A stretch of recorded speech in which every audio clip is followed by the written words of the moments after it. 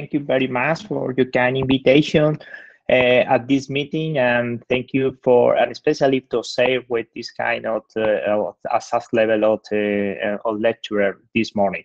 So uh, my lecture today is a reflection concerning what could be the impact of the lower limb amputation due to diabetes uh, during the pandemic.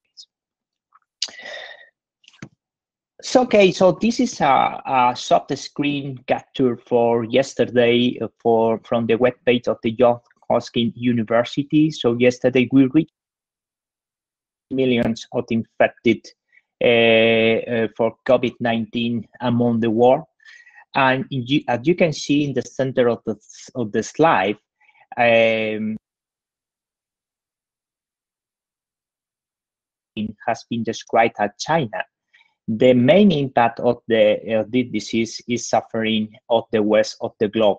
So you can see how the the best the, the majority of the of the of the cases are now located on the West Europe and in United States and Latin America. Everybody knows every 20 seconds uh, a lower limb amputation due to diabetes is performing among the world and this is a, a dramatic impact of the diabetes in the lower limb. But what uh, uh, the reflection could be, how could the COVID-19 could impact on diabetic foot amputation globally? So according with this, it's important to remind what is the leading factor for lower limb amputation. So in the majority of the literature, we found that the gender male presence of the peripheral arterial disease or the combination of the cardiovascular disease, nephropathy, the poor metabolic control, the foot infection, both soft tissue infection and bone infection, the presence of Charcot foot, and the current static uh, status of the smoking are the leading causes for lower limb amputation associated with diabetes. And another problem with the lower limb or the rate of the lower limb amputation is the delay in the referral this patient to the multidisciplinary team and especially to the specialist units for preventing this lower limb amputation. So what is the consequences of COVID-19 on health system? So as some of the previous speaker mentioned it before, the, we are suffering now an overload of emergency services. We are Uh, suffering now a saturation of the care beds with the suspension of the health service considered non-essential. This is crucial because in the majority of the cases, the treating of patients with diabetes and its complication is considered in many countries among Europe as not essential service. There is a general recommendation for avoiding to go to the hospital to the risk of contagion. So that means that the, the patient are scared and on the other hand, we have uh, or we are living a community care overflow. Definitely, all these factors has an impact in the lower limb amputation rate. So what is the consequences of COVID-19 on diabetic foot? So there is a delay in diagnosis on the main complication, especially peripheral arterial disease and infection. This kind of patient are majority treating at home or treated by community. Definitely, COVID-19 has an impact in there. It, it, has a different regional impact as, as uh, uh, we can uh, see before the COVID-19 hitting in different um, levels, different regions among the world. And therefore, the impact of amputation could be different among the world. So probably we can expect especially in United States, in Europe and Latin America, and increasing on the rate of lower limb amputation because there is the region that has hitting, uh, especially with hard hitting due to COVID-19 um, in, in problem.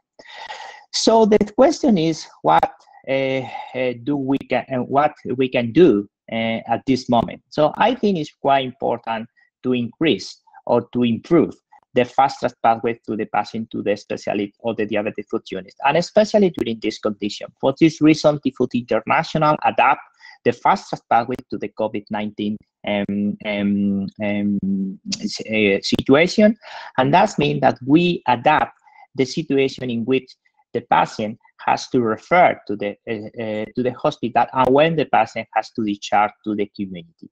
That means that perhaps we need to reduce the length of the stay of the patient at hospital, and we need to um, uh, delay the uh, surgical intervention for some kind of patient that probably can wait.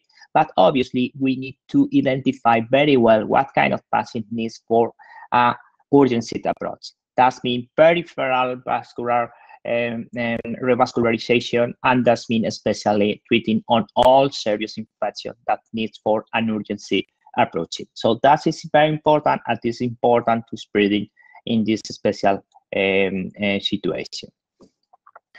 And additionally, we need to remind that it's very important to take into consideration that the majority of these patients are now treated by in primary care.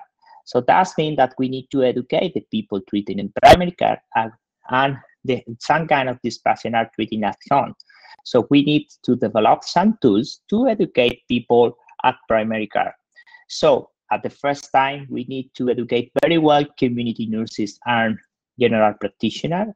Uh, they need to understand what is the standard of care of diabetic foot, and especially they need to understand how or when to refer this patient to the diabetic foot unit. And on the other hand, it's very important to educate the patient on how to treat the patient by, by themselves, especially at home, and educate the patient when the patient needs to be in contact with the specialist and when the patient needs to go to the emergency where the patient detect any sign of alarm. So definitely COVID-19 has uh, um, has an impact in lower limb amputation due to diabetes, but the more important thing is that probably we are not seeing so far. So the problem is coming soon, and probably in the next month, we are living an increase of the rate of lower limb amputation because the majority of these patients are now at home and the majority of these patients are now treated at primary care. And another important consequence of COVID-19 is that as we saw before in previous studies, the majority, uh, there is a reduction of the hospital admission of this kind of patients. But we don't know now if this reduction is due that the patients are treating well or are not referred properly to the hospital. So probably in six months, or in one month, we are seeing new data in which increasing of the rate of the lower uh, amputation, especially due that um, misdiagnosis and the low referral in patients with peripheral arterial disease and in patients with foot infection. Thank you very much for your attention.